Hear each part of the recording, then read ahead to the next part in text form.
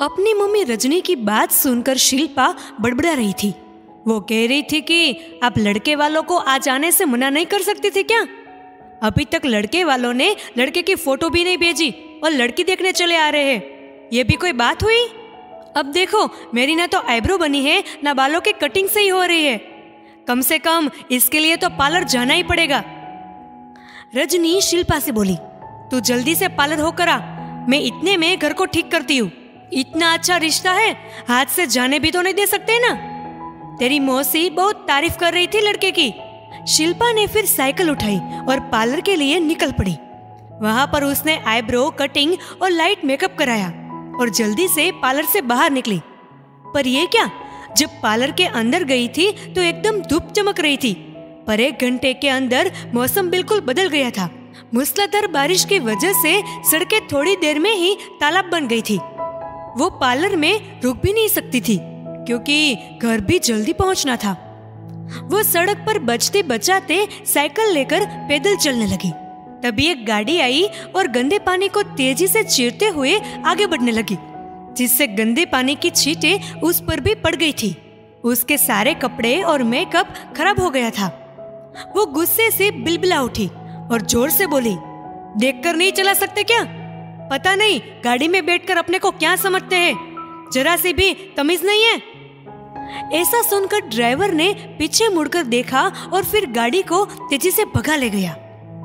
अब शिल्पा भुनभुनाती हुई घर पहुँची तो उसकी मम्मी ने उसे दूसरे गेट से अंदर करा, क्योंकि लड़के वाले पहुँच चुके थे। उसकी मम्मी ने उसे बताया कि लड़का पीली तमीज पहने हुए बैठा है। उसे ठीक से देख लेना। वो जल्दी से अपना हुलिया ठीक करके लड़के वालों के सामने पहुँच गई। लड़के वालों को देखकर तो उसकी सिट्टी पिट्टी गुम हो गई। लड़के वालों ने उससे ऐसे ही कुछ साधारण से प्रश्न पूछने शुरू किए तो वो बहुत धीमी आवाज़ में उनका उत्तर देने लगी, जो उन्हें सुनाई नहीं पड़ रहा था। थोड़ी देर बाद लड़के वालों की तरफ़ से कोई बोला, अरे, उतनी ज़ोर से बोलो ना, जितनी ज़ोर से गाड़ी वाले को डांट रही थी। जिसने तुम्हारे कपड़े और शायद मेकअप खराब कर दिया था। अब उसकी सूरत देखने लायक थी। दरअसल गाड़ी में लड़के वाले ही थे, जिन्हें उसने अभी थोड़ी देर पहले ही डांट पिलाई थी।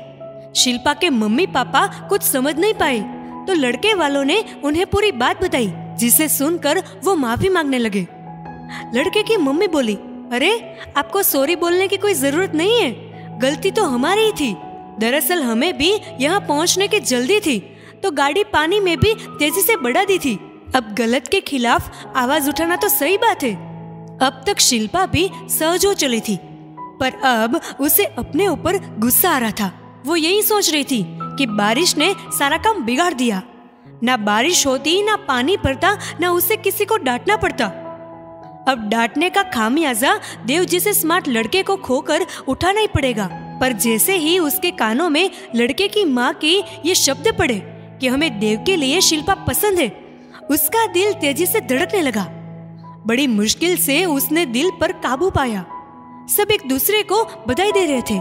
शिल्पा की नज़रें देव से मिली तो देव ने कानों पर हाथ रखकर उससे इशारों इशारों में माफ़ी भी मांग ली थी। ऐसा देखकर शिल्पा मंद मंद मुस्कुरा दी। अब उसे बारिश से कोई शिकवा नहीं था। अब तो ये बारिश उसके जीवन का यादगार लम्हा बन गया था।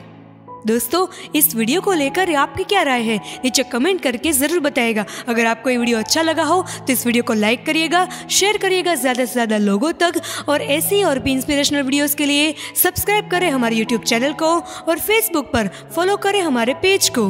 धन्यवाद।